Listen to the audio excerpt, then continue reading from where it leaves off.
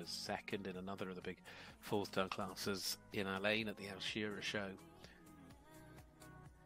Of course, he's been out here since December and into the final stages of his uh, trip once more to uh, the United Arab Emirates. Will be looking and trying and hoping for a big finish if he can.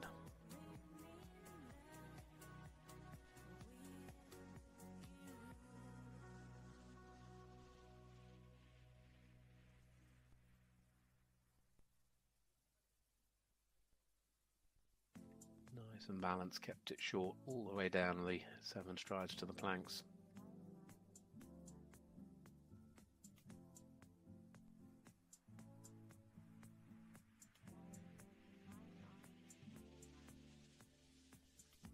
Not so good as the combinations out his way, but this was the fence that caught out Kristaps.